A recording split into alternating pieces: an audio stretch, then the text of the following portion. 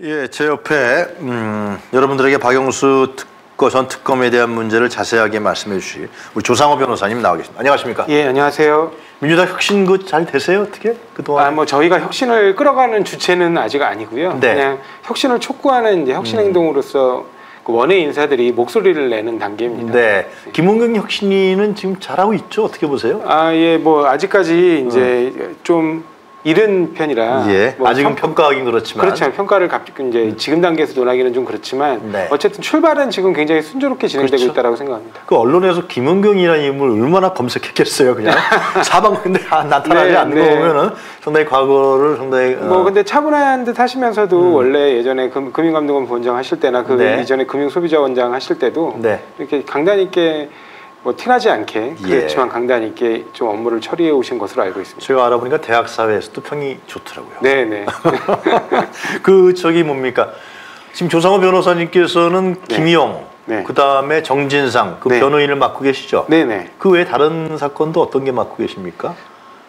어, 김, 지금 아, 저, 한- 김용 부원장님을 제가 맡는 건 아니고요. 아? 저는 이제 정진상 아 어, 정무조, 전 정무조정 실장 사건을 맡고 있습니다. 그리고 앞으로 이제 변호인단이 어떤 방식으로 어떻게 다시 재구성될지는 모르겠어요. 왜냐면 네, 어. 일단 그 사건 자체가 네. 이제 병합되고 막 음, 이부되고 아, 막 맞아, 이런 맞아. 것들로 막 이렇게 붙었다 떨어졌다 막 이러고 있기 때문에 네, 그 과정에서 좀 조정이 있을 수도 있습니다. 아, 한성엽 방통위원장은 다른 분이 맡고 계시나요? 네, 맞습니다. 아 네. 그런가요? 네. 어 그러시군요. 대장동 사건에 대해서 워낙 잘 아시겠네요. 음, 네. 자, 박영수 전 특검을 하여튼 간에 이것이 50억 클럽 폭로된 지 1년 6개월 만에 네. 착수 3개월 만에 네. 전격적으로 영장을 신청했는데요. 네네. 어, 왜 검- 검찰이 그냥 놔두지 또왜 영장도 신청했어요? 글쎄요, 뭐 어떤 의미로 정말 그 수사 의지를 갖고 하는 것인지 네. 그렇지 않은 것인지는 지금 단계에서 뭐 섣불리 판단할 수는 없지만 네, 일단은 볼 수 있는 것 같아요. 일단, 일단 예, 그 일단이 뭐냐면 이른바 지금 박영수 특검에게 적용하려고 하는 혐의가 네. 수재 혐의예요. 수재. 아, 그 알선 수재입니까? 아, 아니 알선 수재가 아니죠? 그러니까 예, 알선 수재 같은 겁니다. 이게 네, 어, 비슷해요. 어, 비슷해요? 예, 그러니까 특, 특가법상, 특정 아, 특정 경제범죄 가중처벌 우리가 보통 특경법이라 고 그러는데요. 음. 특정 경제범죄 가중처벌법상 수재 혐의인데 이 수재가 뭐냐면 네, 금융기관이에요. 이제 음. 이거는 음. 근데 그 금융기관을 사실상 공무원에 준하는 지위 형태로 놓고 음. 이제 공무원에 준하게 가중처벌하는 규정을 두고 있습니다. 그래서 아, 그래요? 예, 아. 이 금융기관의 임직원은 네, 어, 소속 직무에 관해서 예. 금품을 수수하면 5년 이하의 징역으로 처벌받게 돼 있는데 그렇습니까? 그 음. 수수액이 음. 3천만 원 이상이면 음. 5년 이상, 음. 오 그다음에 7, 5천만 원 이상이면 7년 이상. 어, 엄격하군요. 네, 그렇습니다. 그래서 음. 이 수수액이 1억 원이 넘어가면 무기 또는 10년 이상입니다. 어, 그래요? 네, 어. 그러니까 굉장히 센 거죠. 그러니까 판사가 장량 간격을 하더라도 5년 이상이 되기 때문에 네. 집행유예는 불가능해지는 네. 그래서 이 중형입니다. 우리은행 이사 때 그때 문제인가요? 우리은행의 물론 예, 이사입니다. 그 이사이자 이사장이었어요. 그래요? 예, 그러니까 어. 비상 비상임이기는 한데 음. 이사장 역할을 음. 했었거든요. 네. 그러- 그러니까 금융기관의 임원에 해당합니다. 그래서 금융기관의 임원이 음. 소속 직무, 그러니까 그 해당 금융기관의 음. 대출 등 음. 그 소속 직무에 관해서 대가를 받고 음. 청탁을 들어주면 음. 이제 당, 전형적인 이제 수재죄가 되는 겁니다. 그 남욱이라든가 대장동 관계자들에게 네. 대장동 사건과 관련해서 대출해줬다는 건가요? 불법 대출? 아, 그러니까 불법 대출을 아, 알선하려 했다는 알선. 거죠. 아. 네. 그래서 음. 원래는 이 이제 지금 검찰 주장에 따르면 예. 200억 그러니까 이게 어마어마한 금액인데 어후. 200억이라는 보수를 받기로 약속을 하고 아, 대장동 일당들에게. 예, 일장들에게 어. 그 우리은행을 그 컨소시엄에 주체로 참여시키다. 그러니까 주체로 아. 참여한다는 건 무슨 말이냐면 음, 다른 금융기관들하고 이렇게 보통 같이 엮어서 예, 우리가 네, 신디케이트 론이라고 네, 네, 그러는데 네, 네. 같이 엮어서 네. 그 금융기관들을 대출하게 하도록 이끌어내는 어. 그러니까 주- 이른바 주간은행이라고 표현해요 우리는 음. 그 주간은행 역할을 맡아, 맡아준다는 그 의미를 갖고 있습니다 네. 그래서 그거를 해주는 음. 대가 해주게 하는 대가로 그러니까 음. 그걸 끌어오는 대가로 음. 200억을 약속했는데 네. 결과적으로 그거는 실패하고 네. 이제 대출 의향서 그러니까 음. 그 컨소시엄에 참여하는 은행 중 하나가 될 수는 있다는 뜻입니다. 음. 컨소시엄 주간 은행은 아니고요. 네. 그래서 대출 의향서로 1,200억이 좀 넘는 금액을 대출을 약속하는 네. 대출 의향서를 발급해 주는 정도로 끝났거든요. 네. 그래서 원래 약속했던 200억이 아니라 이른바 우리가 50억 클럽이라고 부르는 50억에 들어가게 됐다. 아, 이게 이제 최종적으로 약속이 변경된 거죠. 아 그게요. 그래서 50억 클럽에 이제 네. 그래서 그걸 그 혐의를 적용하겠다는 거예요. 왜냐하면 이 또한 뇌물과 마찬가지로 음. 약속만 해도 처벌을 하거든요. 아? 예, 그렇습니다. 음. 약속만 해도 똑같은 형으로 처벌을 합니다. 그래서 그 200억 약속과 50억 약속이 다 있었다고 보고 네. 둘 다를 붙여서 결국에는 이제 특경법상 그 음. 수재 혐의 등으로 처벌을 하겠다는 건데. 결국 이것도 알맹이는 빠졌다는 지적입니다. 왜냐하면 네. 곽상도 사건에서도 보시면 아시겠지만 예. 처음에 5천만 원을 줘요. 각성도한테요. 곽상도한테 이제 곽상도가 음. 출마를 대구에서 한다고 아, 하니까 음. 이른바 5천만 원을 들고 가 현금으로 네. 줍니다. 음. 근데 그거는 곽상도 쪽 측에서도 스스로 인정하는 겁니다. 뭐냐면 곽- 그 저기 그 남욱이 네. 이제 변호사법 위반. 근데 원래 그 처음에 봤던 혐의는 그거는 아니었어요. 근데 네. 어찌됐든 음. 변호사법 위반으로 이제 뇌물을 주려고 했다는 그 혐의가 있었는데 네. 그 혐의를 음. 변론하면서 조언을 해줬다고 받았다는 거예요, 자기는. 아, 근데 상식적으로 예. 민정수석을 직전에 지냈고요. 네. 그때는 수사가 멈췄어요. 네. 근데 민정수석을 마치자마자 수사가 네. 다시 진행이 됐는데 예. 그 직후에 출마를 하는 사람한테 돈을 갖다 줬습니다. 아. 그러면 그게 연결해 보면 네. 특히 이제 과거 녹취록과 연결해 보면 전형적으로 이건 대가 수령으로 보입니다. 음. 뭐냐면 민정수석 시절에 음, 이미 그 부산저축은행. 음. 부산저축은행 관련해 가지고 음. 변호사법 위반 혐의를 받던 남욱 등의 일당만 빼주는 형태로 네. 보호해 준 거 아니냐. 음. 그 보호해 준 데 대한 대가로 음. 그래 정치도 한다는데 거기 가서 좀 살해를 해야 되는 거 아니냐로 해서 이른바 수뢰우 그러니까 음. 부정처사후 수뢰 혐의인 것으로 보이거든요. 근데 정작 그거는 빼고 음. 이제 이른바 정치자금법 위반으로만 아. 해서 결국 800만 원이 선고돼요. 유죄는 받습니다. 거기. 제가 알고 있기로는 공직자들이나 정치인들이 잘 나갈 때 음. 일단 도와줘. 예, 예. 도와준 다음에 네. 그다음에 자기 그 퇴직한 다음에는 이제 대가상으로 받아먹어. 아, 그렇습니다. 아, 전형적인 수법이죠. 전형적인 수법인데 이게 이제 수뢰우 부정처사로 걸렸으면 5천만 원이면 7년 이상 징역이라서 집행유예가 어. 안 돼요. 그래요. 근데 벌금 판매 800만 원으로 일심 나, 나왔거든요. 네. 정치자금법 위반으로만 처벌돼서. 아. 근데 그것도 마찬가지로 그거 하고 그다음에 네. 뭐냐면 곽상도가 음. 민정수석을 지낸 데 대한 그 인맥이 있을 거 아닙니까? 그럼요. 그 인맥을 활용해서 이른바 하나은행 김정태 회장에게 아. 이 컨소시엄 참여에 관해서 로비를 했다. 네. 음. 그걸 엮어서 음. 그 부분으로만 기소를 했는데 그 부분은 결국에 증거불충분으로 무죄가 나왔거든요. 네. 근데 제가 지금 드리고 싶은 말씀이 뭐냐면 예. 곽상도와 박영수는 공통점이 있죠. 어떤 게 있습니까? 고위 정관이라는 겁니다. 검찰 측 고위 정관이에요. 근데 둘 다 수사 무마 의혹이 있습니다. 그래요. 그렇죠. 예를 들면 곽상도 같은 경우 는 제가 아까 말씀드렸던 네. 부산저축은행 사건에서 남욱과 정영학 음. 등을 빼주는데 결정적인 역할을 했다. 막아주는데 외- 외피가 돼줬다. 이제 중요한 포인트네요. 그렇습니다. 그리고 박영수 또한 음. 박영수 또한 이제 남욱과 정영학 등이 그 수사를 받을 때 네. 자, 나중에 최종적으로 음. 이 사람들이 무죄로 나오게끔 맞아요. 굉장히 구멍을 숭숭숭 내고 심지어 판사가 어 이거 배임으로 처벌해야 되는 거 아니야라고 지적했음에도 불구하고 검사가 공소장 변경을 하지 않아서 결국 무죄를 선고하게 되는 거기 윤석열이 나타나지 않습니까? 그렇습니다. 그리고 그 사건 수사를 전체적으로 총괄지휘했던 사람은 윤석열 음. 당시 부산저축은행 그러니까 저축은행 사태 수사팀장이었습니다. 그러니까 그런데 결정적인 역할을 한 사람들이거든요. 네. 근데 공통점은 둘 다 그 전관 검, 검사 정관으로서의 역할에 관한 수사가 없는 거예요. 음. 둘 다. 그건 못하겠지 검사들. 그거는 검사들이 안 하는 겁니다. 안 하는 일부러. 거, 안 하는 거 자기네 문제니까. 그렇습니다. 오히려 음. 이 저축, 그러니까 저, 저, 그 은행에 관한, 은행권 관련 로비는 쉽지 않은 부분이 아, 있어요. 아, 아. 은행권 관련 로비가 왜 쉽지 않냐면, 네. 일단은 증거가 분명하지가 않아요. 당사자들은 다 부인하고 있고. 그게 중대한 범죄니까 당연히 그럴 거 아니겠습니까? 지금 뭐 우리 은행장이라고 인정할 리가 없잖아요. 그렇죠. 그러니까 음. 다 부인하고 있고 그래서 지- 진술이 맞춰지지가 않아요. 두 번, 두 번째로는 이게 변호사의 고유 직무에 해당할 수도 있습니다. 변호사님 말씀 들어보니까 짜고 고도리 친다는 느낌이 없지 않아 드네. 그렇습니다. 그래서 박상도가 50억을 음. 무죄를 받았지만 사실은 그 50억 클럽 이전에 5천만 원은 실제로 돈을 수령했거든요. 네. 근데 그 부분을 만약에 음. 공무원이 음. 다른 공무원의 직무에 관해서 알선한 거로 본다면 알선 수뢰 그러니까 네. 결국에는 음. 뇌물하고 똑같이 처벌되거든요. 네. 액수에 따라서 아. 그렇게 되면 7년 이상 그러니까 아, 음, 판사가 상당히. 반으로 음. 깎으더라도 3년 6개월이기 때문에 집행유예가 불가능해집니다. 음. 실형 선고가 필연적인데 그렇- 그거를 그 혐의는 적용을 안 해요. 왜? 음. 검찰에 관한 로비이기 때문에 검찰 전형관들이 연루됐을 가능성이 높다는 박영수도. 마찬가지로 마찬가지. 마찬가지로 그 봐주기라든가 그렇습니다. 이런 정관 예우에 대한 수사는 전혀 안 하고 전혀 안 하고. 우리은행. 근데 네. 그거는 가봐야 한다. 확정이. 가봐야 알고요. 그 다음에 그거는 박영수 개인의 책임인 거죠.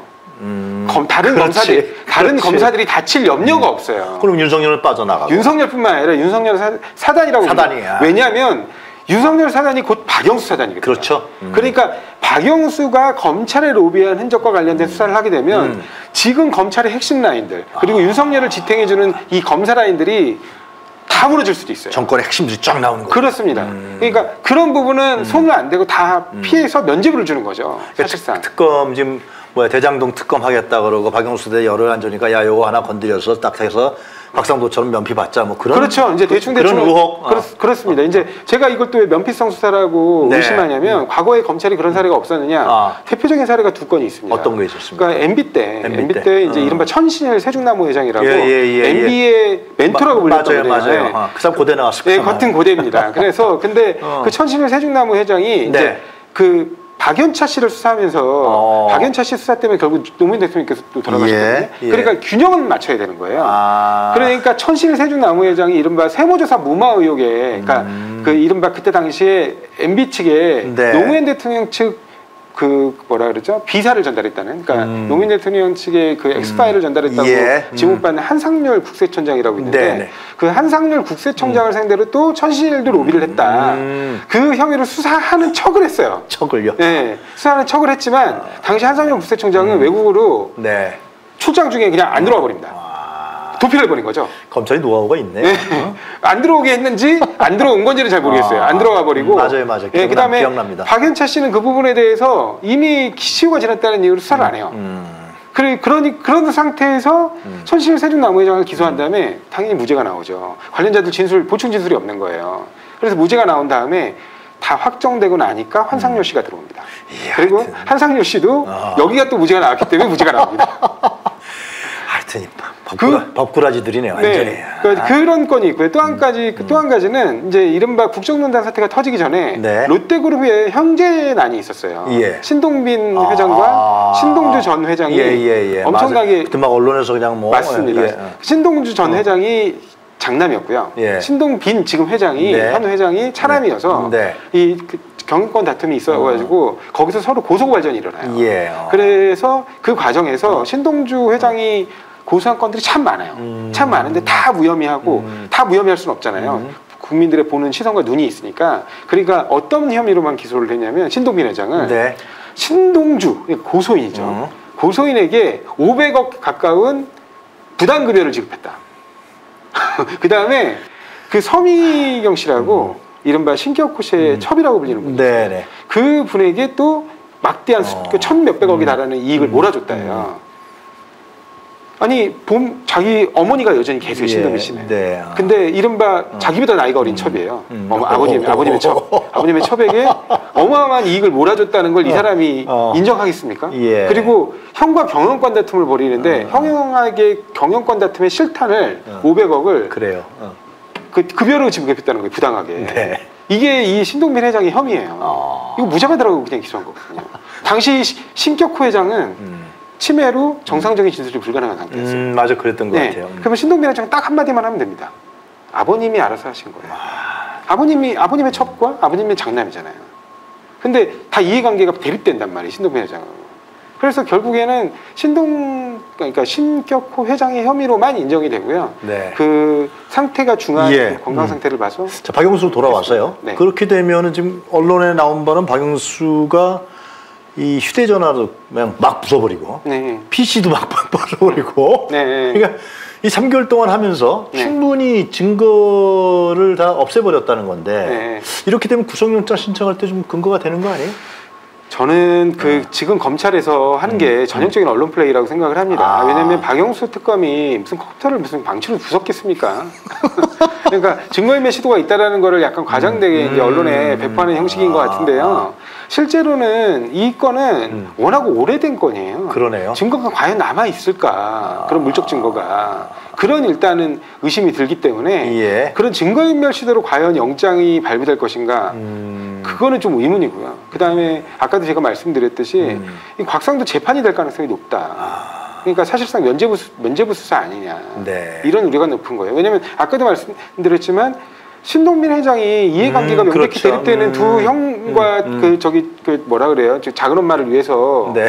횡령 배임을 했다는 걸로 영장을 쳤거든요. 음. 당연히 기각되죠. 음. 그리고 그거는 다 다시 거의 대부분이 나중에 무죄 나옵니다. 음. 그러니까 결국 결국 보여주기 쇼에 그치는 거 아니냐. 음. 천친훈 새누리당 노무회장도 마찬가지였어요. 네, 그런 사례도. 상당히 있군요. 네, 맞습니다.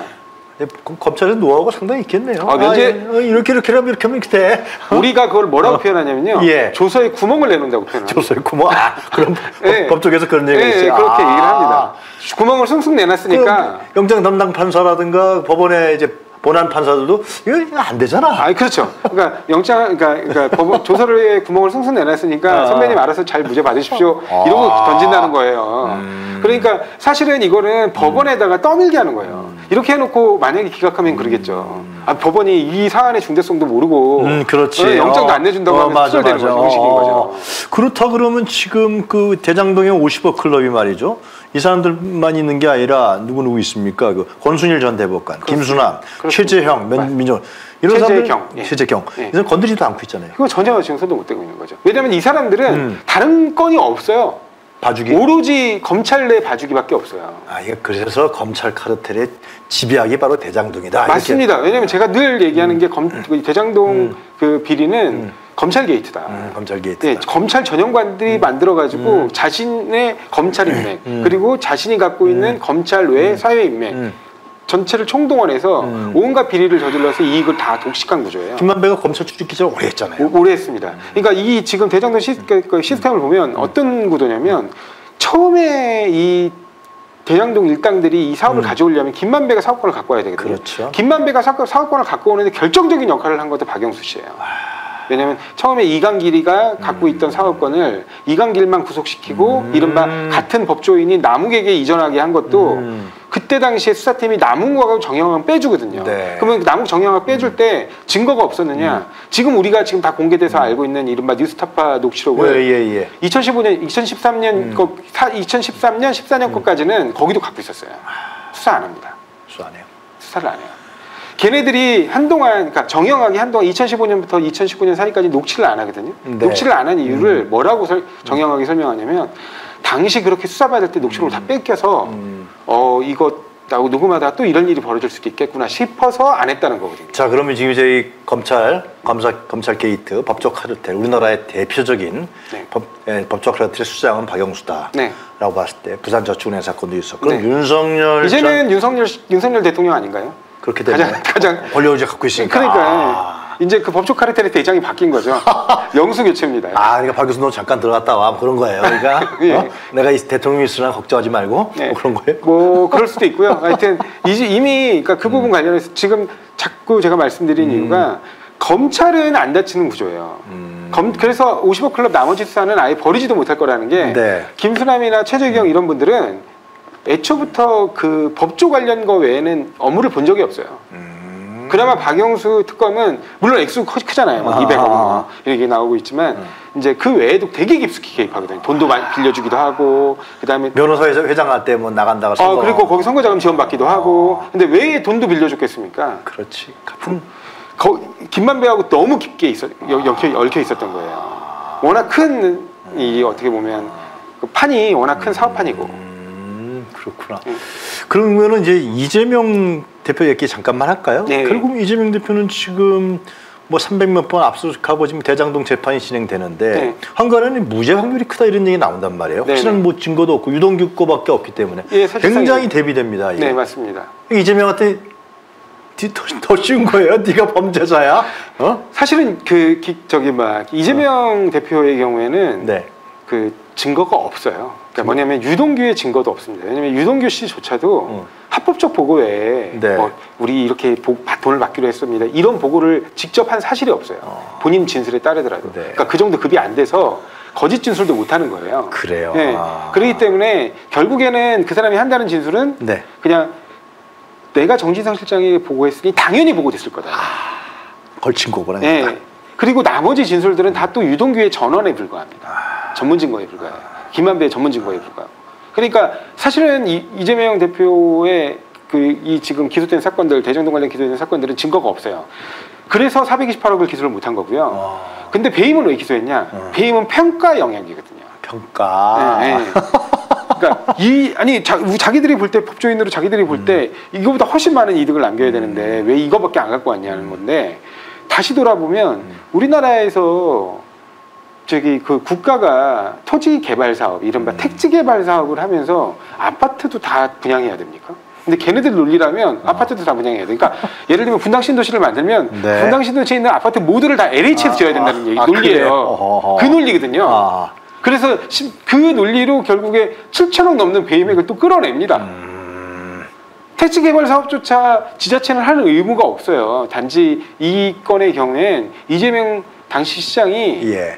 이 공공의 어떤 왜 공공이라 그러냐면 땅은 사유지죠. 수용 결국은 하지만 수용되기 전까지는 사유지는 맞습니다. 근데 이 땅을 도시로 개발하면서 음. 용적률을 올려주고 그다음에 그런 것들은 다 어떻게 보면 공공 자산이거든요. 왜냐하면 그렇게 올라가는 용적률 등으로 인해서 각종 이제 사회 시설이나 기반 인프라가 필요하게 되는 그때 올 네. 때 음. 그 사회 시설 기반 인프라를 만드는 건 다시 세금이거든요.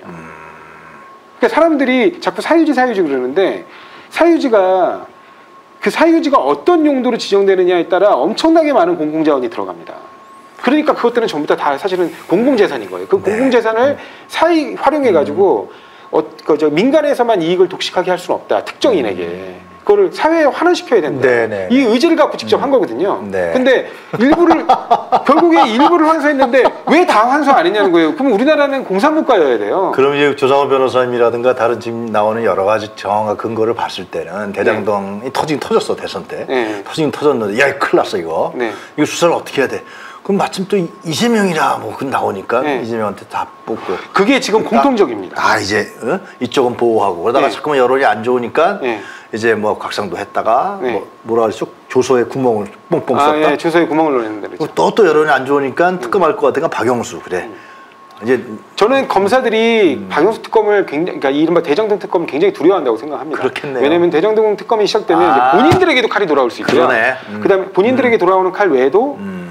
가장 지금 그 검사, 그좀 어설픈 도움이긴 한데 나름 특급 도움이라고 하는 유동규 씨가 흔들릴 가능성이 높아요.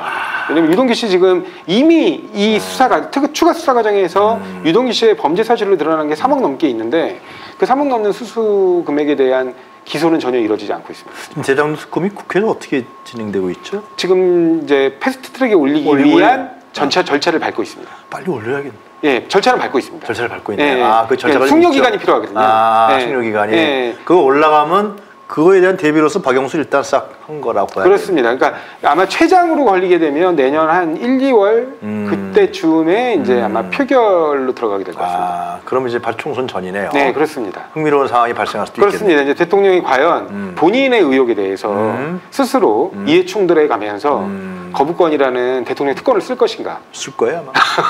저는 뭐, 그 부분을 지켜봐야 될이것 같습니다. 정권은 하에 그냥 하고 전두환은 그래도 조금 좀 봤는데, 어? 응? 교목차이라도 하고 좀 봤는데. 예.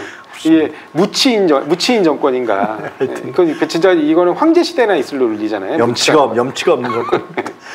자 조성원 변호사님 오늘 수요일 아침 일찍 나오셔서 아주 귀중한 말씀 많이 해주셔서 대단히 감사합니다. 다음 주 수요일에 뵙는 거죠? 네, 알겠습니다. 감사합니다. 네, 감사합니다. 네.